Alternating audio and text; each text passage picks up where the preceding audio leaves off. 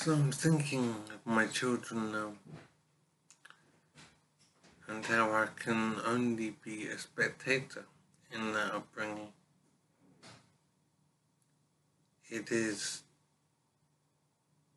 tragic and completely awful.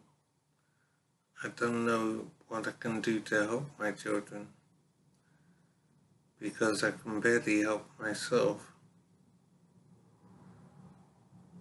I really cannot believe that I have caused this situation in life. It is completely amazing. It's so awful. I just don't know what to do about it.